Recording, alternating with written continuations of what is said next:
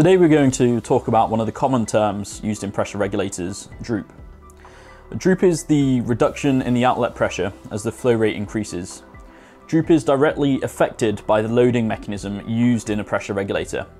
As you compress the load spring, which gives you a force, however, as the sensing mechanism modulates up and down with the main valve, the length of the spring increases and decreases, therefore changing the load that spring is going to offer you.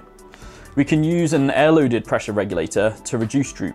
This utilises a fixed air volume to maintain a constant force regardless of the movement of the internal components. We can also add in an external sense line to the pressure regulator. This de detects the recovery pressure downstream of the regulator and feeds it below the sensor, allowing for a faster response. This is particularly useful for high flow rates. If you'd like to find out a little more about droop and pressure regulators and how to reduce it, then please feel free to contact PressureTech.